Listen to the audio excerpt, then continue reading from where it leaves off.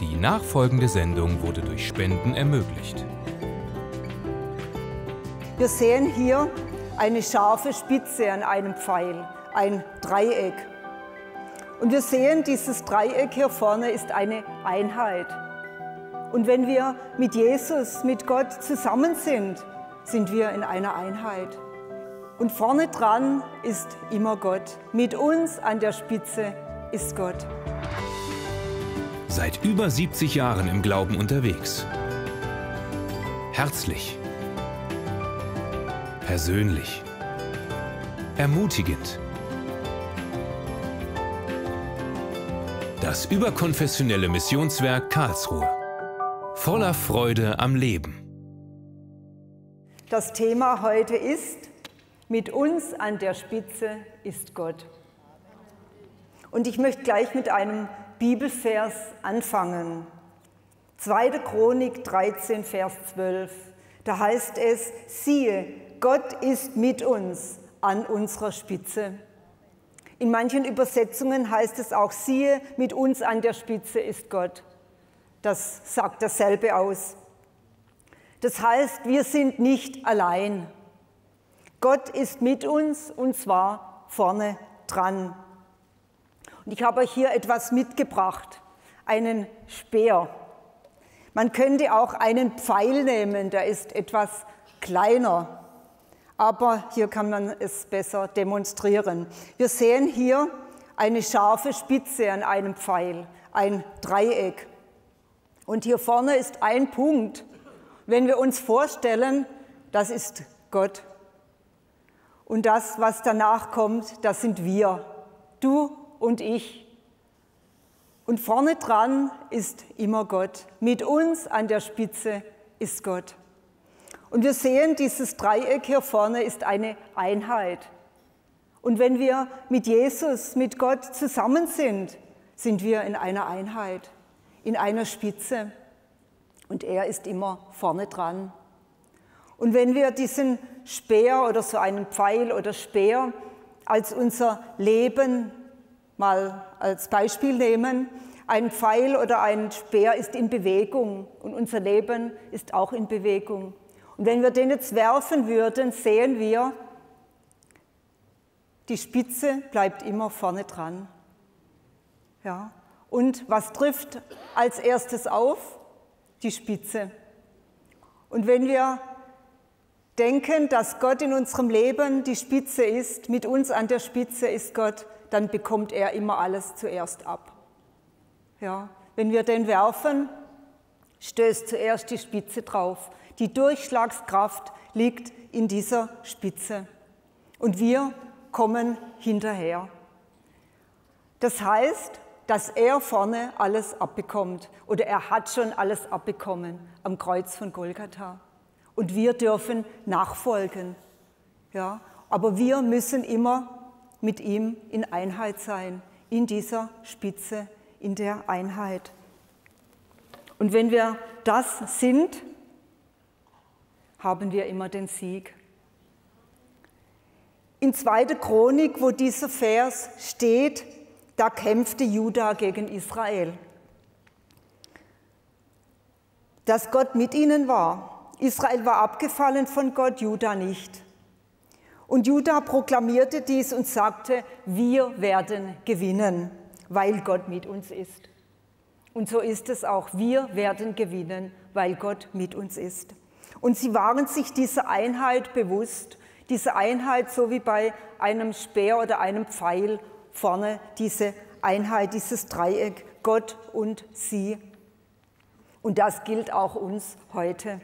Es heißt mit uns an unserer Spitze.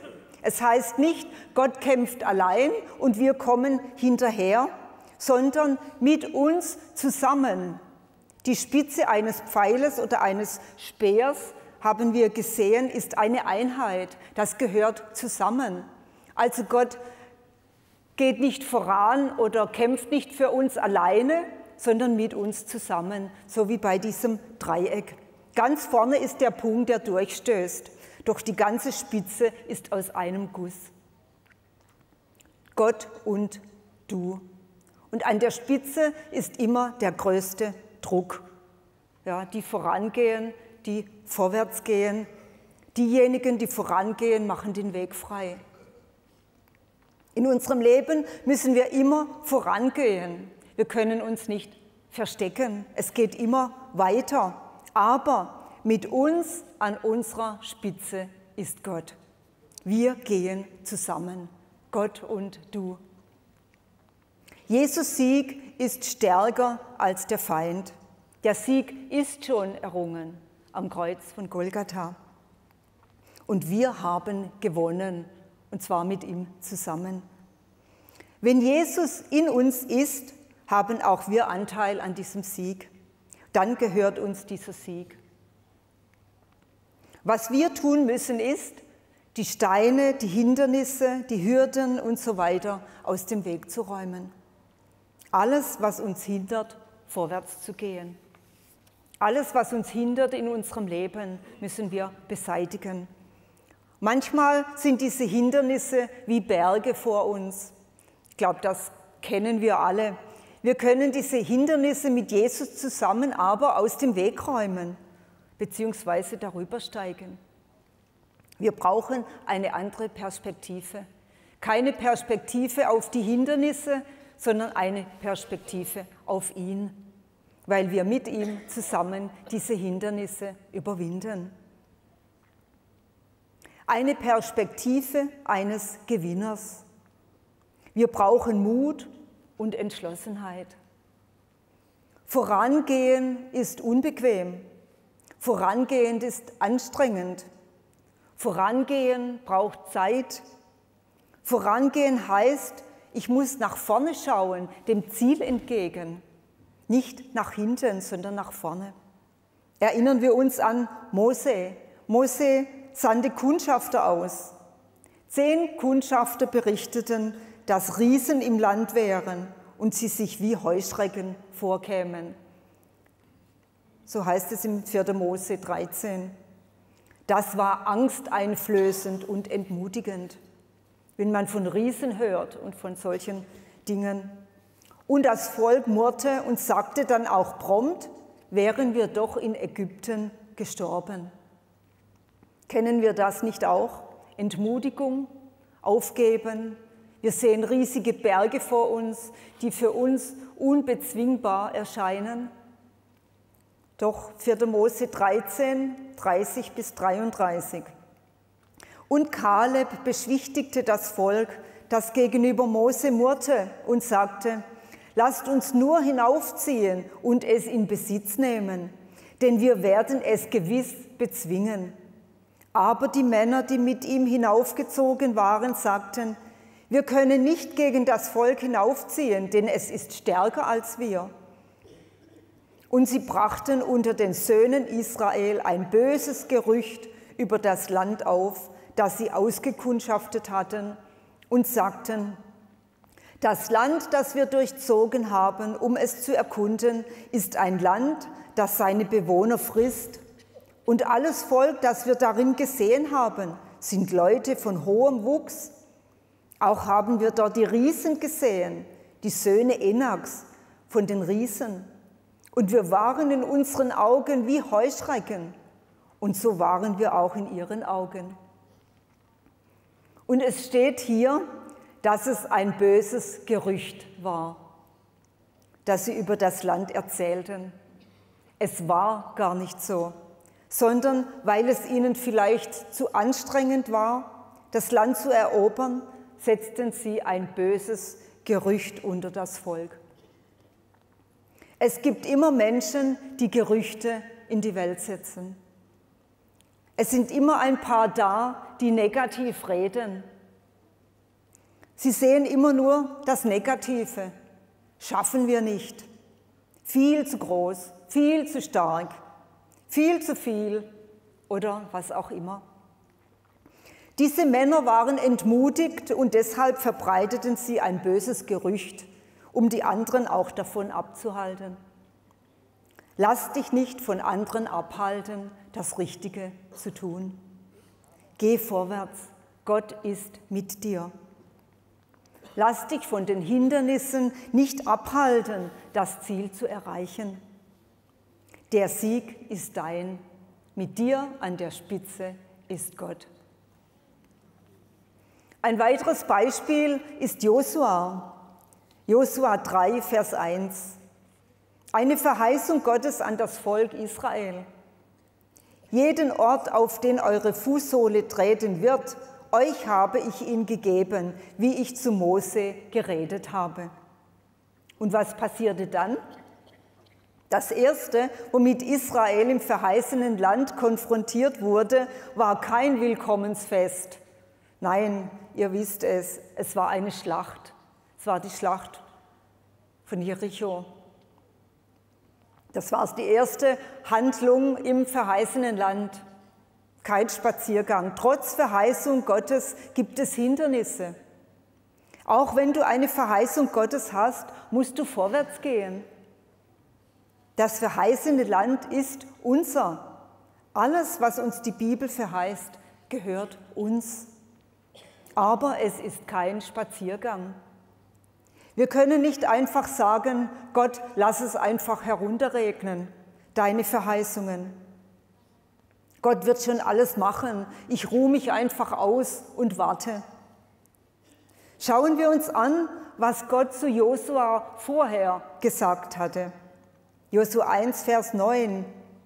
Sei stark und mutig, erschrick nicht und fürchte dich nicht, denn mit dir ist der Herr dein Gott, wo immer du gehst. Wo immer du gehst, heißt es hier. Egal wo du bist in deinem Alltag, egal ob dich gerade Sorgen plagen, egal ob du krank bist oder egal was du auf deinem Herzen hast. Der Herr, dein Gott, ist mit dir, wo immer du auch gehst. Und wir machen so oft einen Rückzug und überlassen dem Feind das Feld? Warum geben wir oft der Angst so viel Raum und treten ihr nicht entgegen? Sie hat keinen Platz bei uns und auch kein Anrecht. Wenn wir das gegenüberstellen, dass Gott mit uns ist, brauchen wir uns nicht zu fürchten. Die Bibel sagt uns, dass Gott unser Heiler und Befreier ist. Warum geben wir so schnell auf und gehen nicht vorwärts? für unsere Verheißung. Jesaja 40, Vers 28 bis 31. Hast du es nicht erkannt oder hast du es nicht gehört? Ein ewiger Gott ist der Herr, der Schöpfer der Enden der Erde. Er ermüdet nicht und ermattet nicht. Unergründlich ist seine Einsicht. Er gibt dem Müden Kraft und dem Ohnmächtigen mehrt er die Stärke. Jünglinge ermüden und ermatten und junge Männer straucheln und stürzen. Aber die auf den Herrn hoffen, gewinnen neue Kraft. Sie heben die Schwingen empor wie die Adler. Sie laufen und ermatten nicht. Sie gehen und ermüden nicht. Und das ist unser Gott. Und das dürfen wir haben. Wenn wir unsere Hoffnung auf den Herrn setzen, dann laufen wir und ermatten nicht weil er uns immer wieder neue Kraft gibt. Dann gehen wir und ermüden nicht, weil er mit uns ist, weil er bei uns ist auf jedem Schritt, den wir gehen. Immer hat Gott eine Lösung. Immer geht es weiter. Nimm die Bibel und stelle dich auf seine Verheißungen. Geh vorwärts. Mit dir an der Spitze ist Gott. Und er bleibt dort. Er sagt nicht, jetzt gehe ich mal zurück und stelle mich hinten an und lass andere machen. Nein, er bleibt an der Spitze. Er geht dir voran. Du und Gott, eine Einheit, so wie diese Pfeilspitze oder diese Speerspitze, eine Einheit. Auch Nehemia ist ein gutes Vorbild, ein gutes Beispiel dafür. Er war ein Mann, der ständig auf entmutigende Feindseligkeiten stieß. Er war ständig Kritik, Widerstand und Untergraben seiner Autorität ausgesetzt. Was er sagte und tat, war seinen Kritikern ein Dorn im Auge. Sie waren neidisch und verärgert. Nehemia 3, Vers 33 bis 38. Und es geschah, als Sanballat hörte, dass wir die Mauer bauten, da wurde er zornig und ärgerte sich sehr. Und er spottete über die Juden. Und er sprach vor seinen Brüdern und zu der Oberschicht von Samaria und sagte, was machen die ohnmächtigen Juden? Wollen sie Jerusalem für sich befestigen? Wollen sie zum Opfer schlachten? Wollen sie es heute vollenden? Wollen sie die Steine aus den Schutthaufen wieder zum Leben bringen? Sie sind doch verbrannt. Und Tobia, der Ammoniter, stand neben ihm und sagte, was sie auch bauen mögen, wenn ein Fuchs daran hinaufspringt, reißt er ihre Steinmauer ein. Das war doch richtig frech, was Nehemia sich da anhören musste. Der Feind versucht immer, dieselbe verschlagene Taktik, um uns vom Plan Gottes für unser Leben abzuhalten. Nehemia ließ sich nicht abhalten. Er ging hartnäckig seinem Ziel nach. Sein Glaube an Gottes Absichten und Versorgung waren stärker als der Versuch des Feindes, ihn zu Fall zu bringen. Nehemia ließ sich von den Reden jener negativen Leute nicht beeindrucken. Er hatte von Gott gehört und das war ihm genug. Und wenn wir von Gott hören, dann sollten wir gehen und uns auch nicht vom Feind abbringen lassen, das zu tun, was im Wort Gottes steht. Was werden wir tun, wenn andere unsere Arbeit kritisieren? Was werden wir sagen, wenn Menschen meinen, was wir tun, hätte keinen Bestand? Werden wir auf diese Menschen hören oder werden wir weiterbauen bzw. unseren Weg gehen? Nehemia 4 ab Vers 1. Und es geschah, als Sanballat und Tobia und die Araber, Ammoniter und Ashdoditer hörten, dass die Ausbesserung an den Mauern Jerusalems Fortschritte machte, weil die Breschen sich zu schließen begannen, da wurden sie sehr zornig. Und sie schlossen sich zusammen, alle miteinander, um zu kommen und gegen Jerusalem zu kämpfen und darin Verwirrung anzurichten. Die Arbeit ging weiter und der Erfolg war sichtbar. Und hier können wir etwas lernen über die Taktik des Feindes. Zuerst war Kritik, Spott und Beleidigung. Und danach wurden Zweifel gesät das wird ja doch nichts. Du kannst das nicht, lass es sein. Doch wenn wir uns davon nicht beeindrucken lassen, kommt der Feind mit Verwirrung. Verwirrung heißt einer gegen den anderen. Habt ihr das schon einmal erlebt in einer Situation? Verwirrung? Ja, ich glaube, wir kennen alle auch solche Situationen, einer gegen den anderen. Und man weiß eigentlich gar nicht, um was es geht. Aber die Situation ist plötzlich total verfahren. Und das ist wie ein Luftballon. Ich habe euch hier einen mitgebracht, einen Luftballon.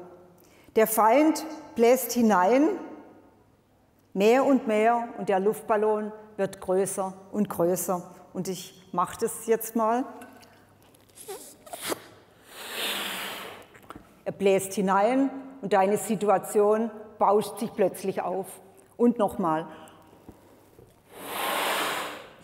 Und es wird größer und größer, deine Situation oder die Lage, in der du steckst. Es bauscht sich auf und das Problem wird immer größer. Und nochmal. So. Und irgendwann wird dieser Luftballon platzen.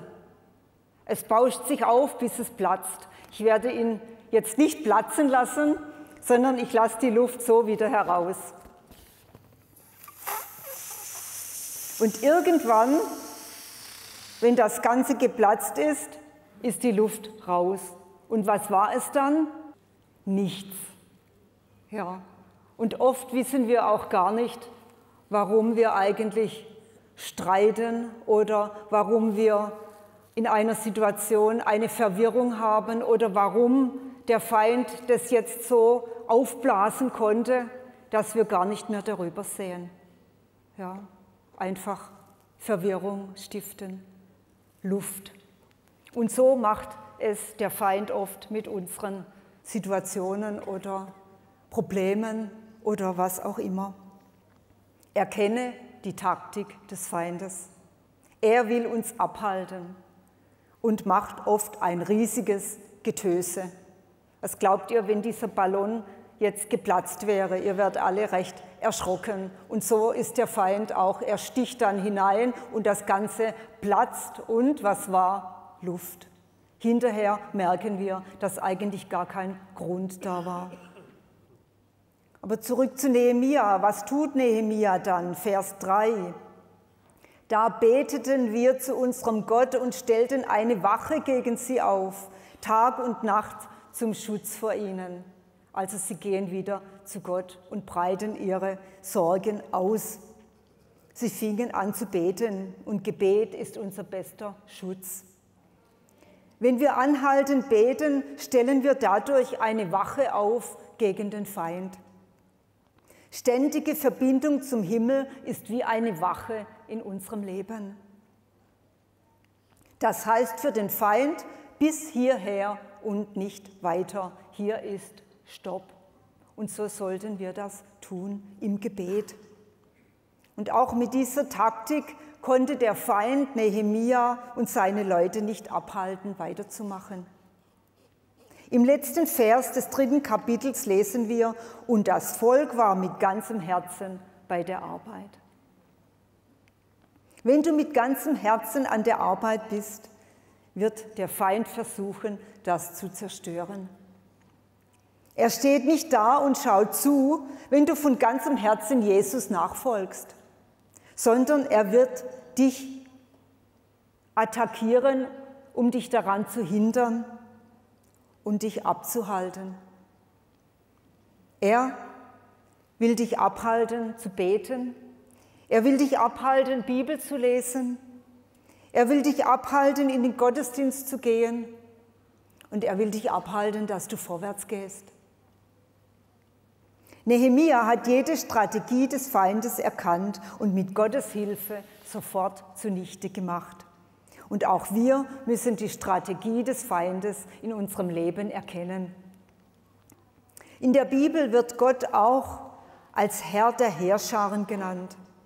An vielen Stellen lesen wir über Gottes Heer, über die himmlischen Heerscharen. Und in 2. Mose 15, Vers 3 steht, der Herr ist ein Kriegsheld, Jahwe sein Name, und er kämpft für uns.